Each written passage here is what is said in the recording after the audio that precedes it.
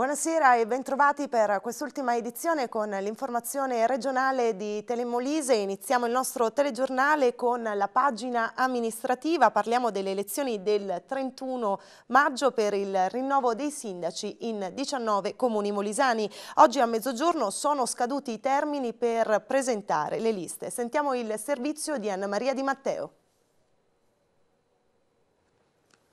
Sono scaduti a mezzogiorno di oggi i termini per la presentazione delle liste nei 19 comuni molisani chiamati alle urne il 31 maggio per il rinnovo dei sindaci e delle amministrazioni. A Bonefro Luigi Montagano scende in campo con la lista progetto Bonefro Impegno per il futuro.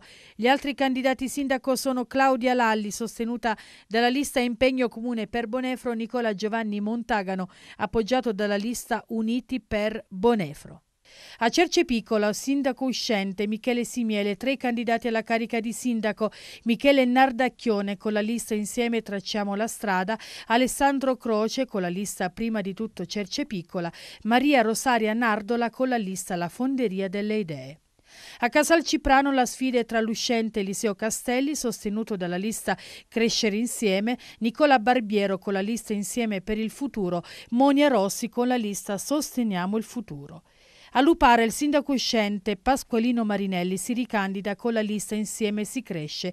Gli altri candidati sono Angelo Variano, sostenuto dalla lista Con te per il Paese, Salvatore Palombo con la lista Uniti per cambiare. A Montenero di Bisaccia il sindaco uscente Nicola Travaglini si ripropone con la lista Uniti per Montenero. Gli altri candidati sindaco Nicola Palombo con il PD, Nicola Dascagno con la lista Montenero Vince, Renzo Magagnato con Movimento 5 Stelle. A Pietracatella, retta dal commissario, due le liste presentate. Pasquale Luciano, candidato sindaco con la lista Pietracatella Cambia, e Antonio Tomassone, candidato con la lista Insieme per Pietracatella. Si vota a Pietracupa, dove il sindaco uscente è Camillo Santilli. A Provvidenti, il sindaco uscente Salvatore Fucito si ricandida, sostenuto dalla lista Bene Comune. L'altro candidato alla carica di primo cittadino è Silvia Lapenna con la lista Progetto Comune, ricusate altre due due liste che erano state presentate. Sei candidati invece a Rocca Vivara, Franco Antenucci, Mauro Tufilli, Francesco D'Angelo, Timoteo Di Girolamo, Stefano Triozzi, Luciano Torrieri. San Giuliano del Sagno, il sindaco uscente Angelo Codagnone si ripropone agli elettori con la lista Uniti per San Giuliano. L'altro candidato è Flaviano Santillo con la lista Il coraggio di rinascere. Quattro le liste presentate a San Polo Matese, sindaco uscente Tonino Spina. I candidati sindaco sono Armandino De Gidio con la lista San Polo nel cuore, Giuseppe Pompeo Santillo con la lista Rinnovamento, Davide Di Re sostenuto dalla lista Vogliamo Insieme e Cosimo Pedicini con la lista Un voto giusto. In provincia di Isernia sono otto i comuni chiamati alle urne, ad Acquaviva di Isernia ben cinque i candidati alla carica di primo cittadino sono Lenio Petrocelli, Nastasio Petrocelli, Gerardo Del Vecchio, Franco Simone e Massimiliano Iemma. Sfida a sei a Rocca Sicura tra Fabio Milano, Mario Lombardi, Antonio Caldararo, Carmen Di Vito, Rocco Vizzaccaro, Roberto Marzano. A Sesto Campano tre candidati sindaco Giuliana Zampilli, Peppe Caranci e Luigi Paolone. A Pozzilli candidata Stefania Passarelli, a Montenero Valcocchiara, Filippo Zuchegna. Due candidati a Chiauci, Carmine Di Vincenzo e Alberto D'Andrea. Infine a Poggio Sannita, sfida tra Giuseppe Orlando e Nicola Di Filippo. Alla fine, dopo il primo tentativo andato a vuoto nel 2014 con la sua seconda offerta, l'IKF ce l'ha fatta, ha messo le mani sull'ITR. Tra pochi giorni ci dovrebbe essere il via libera dei tribunali di Milano e Isernia. Sentiamo tutti i particolari nel nostro servizio. L'ex ITR ha dato il via libera all'acquisizione delle officine tessili italiane a spuntarla è stata l'IKF SPA, fondo di investimento milanese che fa capo a Mario Galetti. La procedura comparativa tra le proposte pervenute si è conclusa e l'offerta presentata dalla società milanese è stata ritenuta come la migliore sul tavolo. L'IKF, che aveva già presentato un'offerta nel 2014, si è dunque aggiudicata la Newco sorta dalle ceneri dell'industria tessile di Pettoranello. Restano da definire i dettagli dei quali si discuterà nel corso di un vertice tra le parti previsto nei prossimi giorni e che condurrà alla firma dei contratti definitivi. Su specifica richiesta da parte della società OTI e della stessa ITR, per ben due volte il fondo di investimento di cui Galetti è il principale azionista aveva deciso di prorogare i termini della scadenza dell'offerta per consentire alle parti lo svolgimento di tutti gli adempimenti procedurali necessari.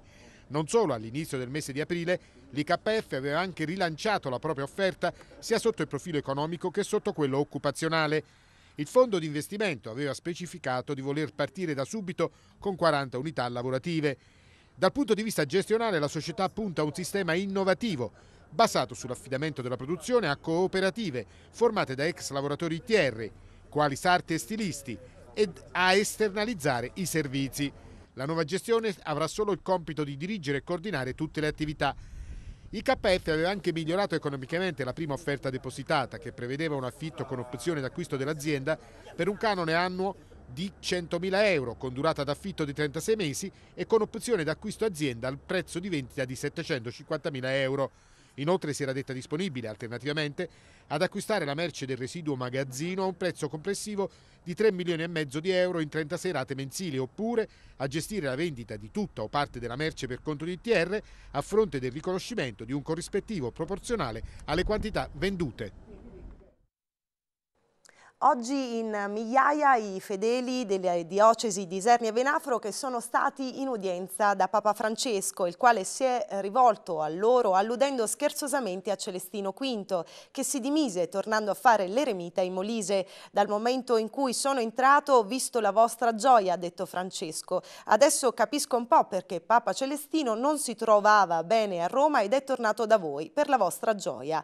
Ha sottolineato tra gli applausi il pontefice che già nel nella sua visita a Isernia lo scorso 5 luglio fu accolto con calore e affetto dalla comunità. Infine poi un appello per invitare i giovani di Abruzzo e Molise ad andare avanti con coraggio a vincere le sfide del momento sostenendosi e aiutandosi l'un l'altro. I problemi si superano con la solidarietà, ha detto ancora Francesco, che ha apprezzato particolarmente il saluto che la diocesi gli ha fatto, intonando il canto Benvenuto Francesco scritto in occasione della sua sua visita a Isernia ed è stato approvato dalla Giunta Comunale di Isernia il bilancio di previsione 2015. Il primo, come ha detto il sindaco con i conti in ordine, Brasiello ha colto anche l'occasione di rispondere alle accuse di lottizzazione lanciategli contro da Stefano Testa. Il servizio è di Enzo Di Gaetano. Stefano Testa, consigliere comunale di minoranza, ha accusato il sindaco di Isernia di aver trasformato Palazzo San Francesco in un poltronificio per la nomina di due vicepresidenti del Consiglio Comunale. Un'accusa che viene respinta da Brasiello che dice che quegli incarichi sono a titolo gratuito. Io credo che tutti i comuni d'Italia hanno l'ufficio di presidenza. Tra l'altro non è stata nemmeno proposta da me la cosa ma dal Presidente del Consiglio, insomma io l'ho semplicemente condivisa peraltro con due vicepresidenze, una alla maggioranza e una alla minoranza proprio per garantire eh, la massima condivisione di tutti gli argomenti e peraltro sono cariche assolutamente gratuite che non costano nulla alla collettività. È un modo come un altro per coinvolgere tutti e per coinvolgere di più i consiglieri comunali in una fase delicata per il Comune di Sernia nella quale stiamo predisponendo un bilancio importante perché questo è veramente il primo bilancio con i conti a posto che stiamo facendo, per cui in questa ottica è opportuno un coinvolgimento maggiore anche attraverso una suddivisione dei compiti un po' più precisa. Ecco, credo che avere le, le vicepresidenze per quanto riguarda il Consiglio Comunale sia un fatto importante, per cui la vedo una cosa assolutamente eh, strumentale, eh, immaginare di istituire nuove poltrone, non è questo il senso, il senso è quello del coinvolgimento. Lei parlava di un bilancio finalmente con i conti a posto, che vuol dire? Sono stati ripuliti questi conti, rimessi a posto? Allora vuol dire questo, noi oggi oggi è 30, abbiamo approvato il bilancio in giunta comunale. Io vengo adesso dalla giunta comunale, è stata una maratona estenuante da stamattina alle 9, abbiamo finito, finito 5 minuti fa e posso dire che per la prima volta con la, con la nuova contabilità, perché dal 1 gennaio 2015 tutti gli enti locali eh, sono passati alla nuova contabilità, che non è cosa semplicissima, posso dire che finalmente il Comune di Sernia ha veramente i conti a posto. Questo che cosa significa? Che approvato il rendiconto 2014 che faremo nei prossimi giorni eh, nel Consiglio Comunale, poi potremo programmare il preventivo 2015. E lì sarà importante, sarà importante una cosa, sarà importante prevedere un abbassamento delle tasse dei nostri concittadini. Noi un anno, fa, un anno fa dovemmo fare una scelta esattamente opposta, cioè quella di aumentarle proprio per mettere a posto i conti. Lo abbiamo fatto, abbiamo messo a posto i conti, teniamo fede a quello che abbiamo detto e l'obiettivo è quello di abbassare le tasse. Ancora un incidente sul tangenziale di Campobasso e a distanza di pochi giorni ancora una volta nella galleria nei pressi di Vazzieri. Un tamponamento ha coinvolto due auto e un pullman, due le persone che sono rimaste ferite, un uomo e una donna trasportati in ospedale. Le loro condizioni non sono gravi. La tangenziale è stata provvisoriamente chiusa in direzione del capoluogo all'altezza della galleria. Il traffico è stato deviato sulla viabilità secondaria con indicazioni sul posto intervenuto il personale ANAS per ripristinare la circolazione. Ci sono delle novità per la Fondovalle Sangro grazie allo Sblocca Italia. Infatti la Regione Abruzzo ha deciso di effettuare un intervento atteso da anni nel tratto mancante tra i comuni di Sant'Angelo del Pesco e Gamberale. Il nostro servizio. Dopo l'intervento tampone dell'ANAS che ha permesso di eliminare buche d'ossi, arrivano altre importanti novità per la Fondo Valle Sangro. Grazie allo Sblocca Italia non solo sono stati trovati fondi per ammodernare e mettere definitivamente in sicurezza la superstrada, ma è stata individuata anche la soluzione tecnica per la realizzazione degli svincoli nel tratto fra Sant'Angelo del Pesco e Gamberale. Una novità rilevante perché di fatto dopo decenni d'attesa consentirebbe agli automobilisti di usufruire completamente della statale 600 152, ossia di quel collegamento diretto tra le aree interne abruzzesi e molisane e il mare Adriatico, oltre che rotta privilegiata per le relazioni commerciali tra l'area industriale della Val di Sangro e la Campania.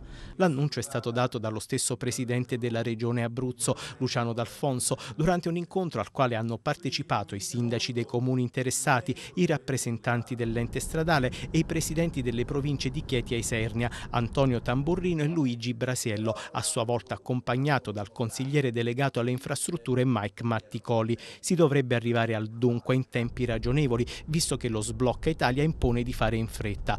Già a metà maggio ci sarà un nuovo incontro tra gli enti coinvolti per limare gli ultimi dettagli, in modo da presentarsi alla conferenza di servizi con tutte le carte in regola. L'ANAS dovrebbe convocarla alla fine del mese. Proprio durante questa riunione dovrebbe essere approvato il progetto definitivo, l'ultimo atto prima del via libera ai lavori. Nell'ambito delle attività di controllo, i carabinieri del Comando Provinciale di Isernia hanno arrestato un pregiudicato per maltrattamenti in famiglia e sequestro di persona. L'uomo, 32 anni, di Sesto Campano, dopo aver aggredito la compagna, l'ha tenuta segregata in casa impedendole di uscire per alcune ore.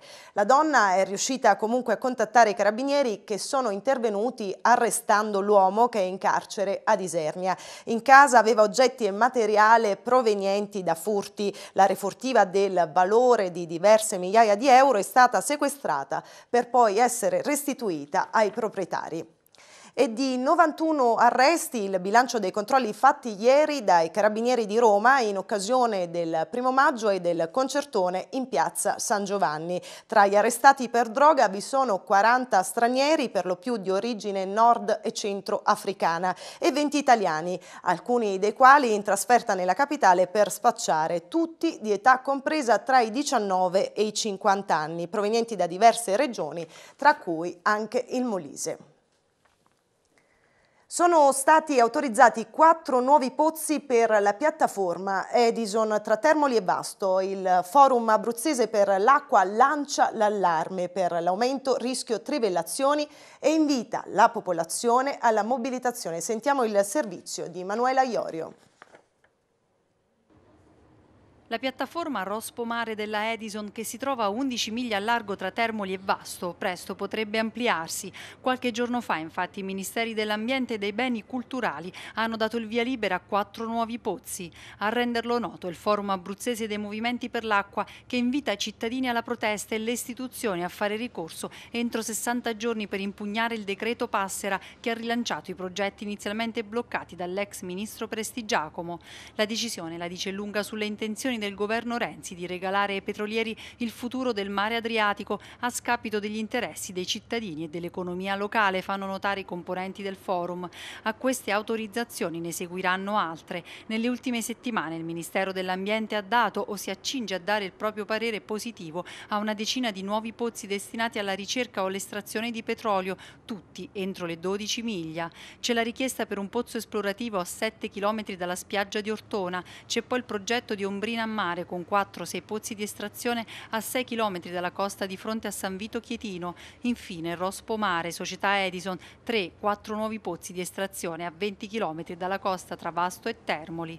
Ecco perché il forum abruzzese invita alla mobilitazione cercando di coinvolgere anche il vicino Molise, un territorio che è stato definito sarà presto sotto assedio dal punto di vista delle trivelle. Stando infatti a uno studio effettuato il 28% del territorio regionale è stato già dato in concessione e tra permessi per l'estrazione o la ricerca di idrocarburi già accordati e istanze da valutare si sale al 65%. Secondo i dati del rapporto alcuni procedimenti riguardano aree molto grandi e che ricadono anche nei centri urbani di Isernia, Campobasso e Termoli. Una battaglia comune per fermare le trivellazioni nel mare Adriatico. Così il senatore del Movimento 5 Stelle, Gianluca Castaldi, intervenuto a Termoli, dove ha parlato anche del referendum previsto in Croazia. Sentiamo il servizio di Fabrizio Occhionero. Da Vasto a Termoli il Movimento 5 Stelle scende in campo per protestare contro le trivellazioni in Adriatico, una scelta non casuale, quella del lungomare, per ribadire una battaglia comune e coinvolgere i cittadini su un tema che, hanno spiegato gli attivisti, riguarda tutti. All'iniziativa ha partecipato anche il senatore Gianluca Castaldi. Bisogna dirimere le trivellazioni, questi non possono fare il comodo loro in casa nostra, in un mare chiuso, dentro un mare altrettanto chiuso che il Mediterraneo eh, come cittadini sappiamo ben poco, è, è, una battaglia comune di tutta la costa adriatica, sia dalla sponda italiana che in quella croata dove ci sono molte richieste di concessione. Non si guarda solo in Italia ma anche a quello che sta avvenendo in Croazia dove sono previsti nuovi investimenti. In Croazia è previsto un referendum, da qui la necessità di informare veramente la popolazione di cosa avviene quando si trivella, come funziona, eh, eh, i benefici se ci sono, ma secondo me non ci sono. Abbiamo un esempio in Italia che è la Basilicata, che doveva essere il Texas d'Europa, la regione più povera d'Italia, quindi i vantaggi per i cittadini sono pari allo zero. Presenti tra gli altri consiglieri regionali Patrizia Manzo e Pietro Smargiassi e il consigliere al comune di Termoli Nicola Di Michele. Bisogna far cadere questo governo, ha osservato Castaldi. Lo sblocca Italia ha limitato la forza delle associazioni locali, dei comitati, dei municipi e delle regioni perché, aggiunto, si passa direttamente dallo Stato e quindi è difficile intervenire. Abbiamo comunque ehm, come arma gli emendamenti, gli emendamenti su qualsiasi decreto sarà possibile inserirli, sai non è che puoi fare emendamenti che non c'entrano con il decreto, però quando sarà possibile noi saremo pronti, siamo pronti con Lega Ambiente, con Greenpeace, con i Notriv che ci danno, ci danno, una mano, ci sostengono e ci, ci danno anche delle dritte per emendare i decreti cercando di mettere il bastone tra le ruote a questa trivellazione selvaggia. E cambiamo argomento, si sono svolti nel pomeriggio a Campobasso, nella chiesa di Sant'Antonio di Padova, i funerali di Antonio Molinari. Chiesa gremita per dare l'ultimo saluto a chi viene ricordato nel capoluogo come il presidente che portò la squadra di calcio in Serie B, serie in cui restò per cinque anni. Il parroco ha ricordato l'uomo, l'imprenditore e il presidente della squadra, la sua disponibilità il ricordo di una persona che ha fatto conoscere Campobasso fuori dai confini regionali. Tanti tifosi presenti in chiesa e fuori che si sono stretti al dolore della moglie Elisa e delle figlie. C'erano anche alcuni dei calciatori che fecero parte del Campobasso degli anni d'oro, tra cui Parpiglia e Dirisio, e c'era la figlia del capitano Scorrano scomparso qualche anno fa. Ieri l'inaugurazione di Expo, ci sarà anche il Neuromed a Milano, l'istituto di ricerca di Pozzilli, presenterà infatti i risultati di una serie di studi scientifici sulla dieta mediterranea raccolti in un quaderno che si propone di dare ad un pubblico il più vasto possibile consigli utili sulla corretta alimentazione. Sentiamo il servizio di Sergio Di Vincenzo.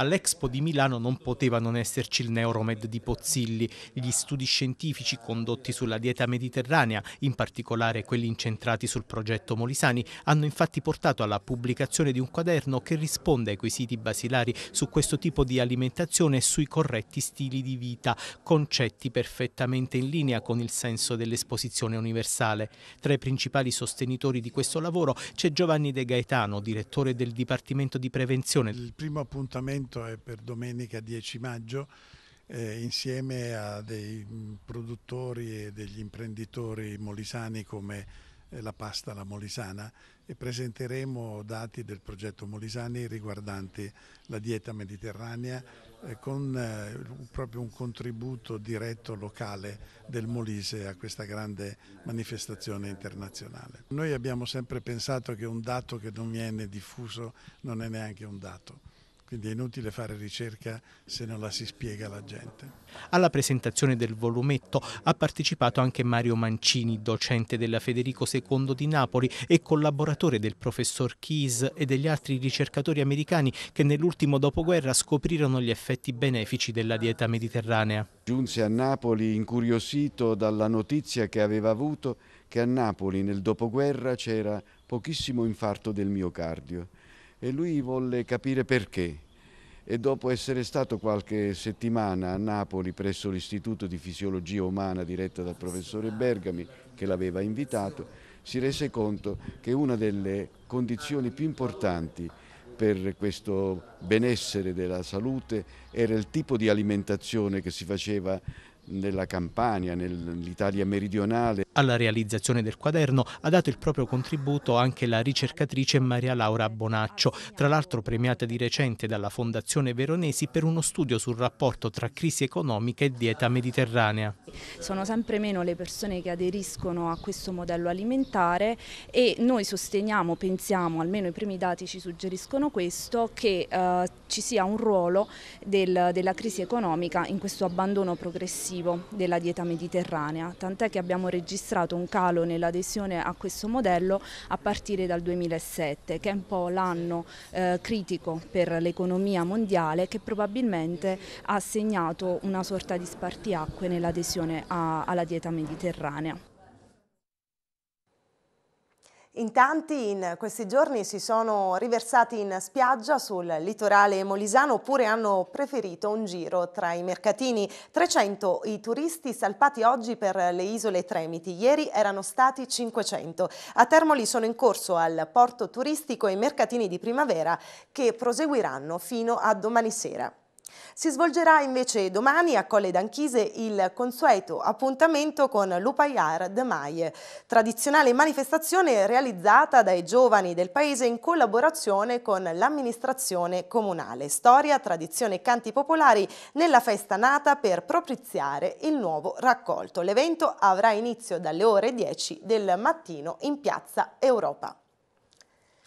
Le esperienze di due ragazzi dislessici sono stati al centro di una giornata di studio sui disturbi dell'apprendimento organizzata a Guglionesi e Larino. Sentiamo il servizio.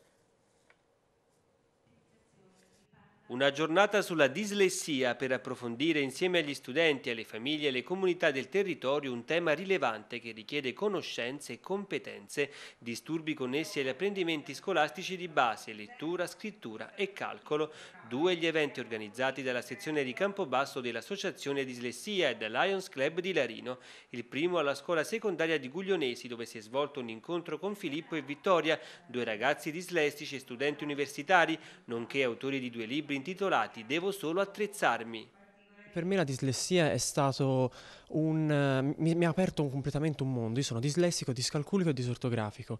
Vengo da Firenze, faccio parte dell'associazione Pillole di Parole, sono uno dei fondatori dell'associazione Pillole di Parole di Firenze, che è un'associazione che lavora sul territorio fiorentino e uh, aiuta i ragazzi con DSA, perché noi stessi abbiamo uh, questi disturbi specifici dell'apprendimento, a superare le loro difficoltà. I disturbi specifici dell'apprendimento visti dunque non solo come un ostacolo ma anche come un valore aggiunto.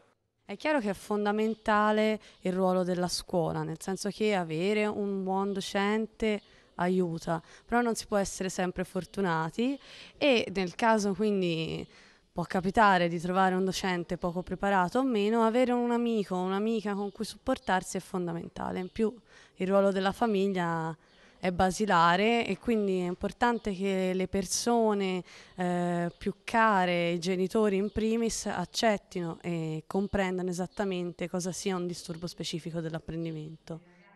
Filippo e Vittoria sono stati protagonisti anche dell'incontro che si è svolto al Palazzo Ducale di Larino. Sono intervenuti tra gli altri Angela Vitiello, presidente del Lions Club e il sindaco Vincenzo Notarangelo. L'evento è stato moderato dalla responsabile dell'AIDE, referente per il libro parlato Lions, Graziella Bizzarri. Ha un senso molto importante sensibilizzare tutti, le famiglie, l'opinione pubblica, le istituzioni e i giovani, i ragazzi, coloro che si vivono questa caratteristica e che insieme a loro frequenta appunto la scuola. In chiusura l'appello per una cagnolina che si è smarrita in contrada Selva Campo di Pietra, la vediamo in foto, è di taglia piccola, indossa un collare viola con disegni neri. Chiunque ne abbia notizie o l'abbia trovata può contattare naturalmente la nostra redazione. E con questa notizia chiudiamo l'ultimo appuntamento con l'informazione regionale di Telemolise. Grazie per averci seguito, vi auguro una buona notte.